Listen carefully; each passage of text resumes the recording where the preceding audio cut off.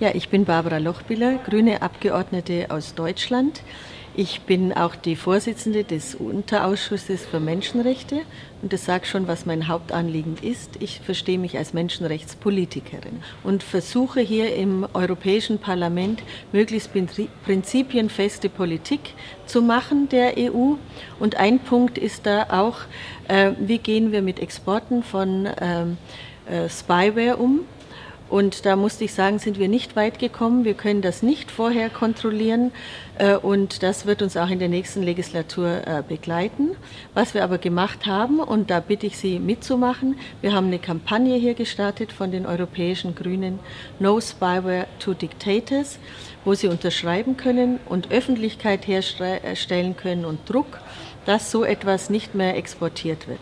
Als Menschenrechtspolitikerin weiß ich, dass viele Aktivisten darunter leiden, weil der Geheimdienst oder repressive, autoritäre Regierungen das immer wieder einsetzen, um zu kontrollieren und den Widerstand zu brechen.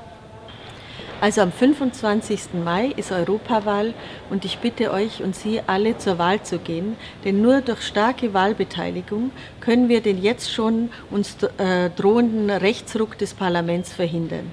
Also für die wählen, die für Freiheit und Selbstbestimmung sind und auf keinen Fall die Nationalisten und die Rechtspopulisten.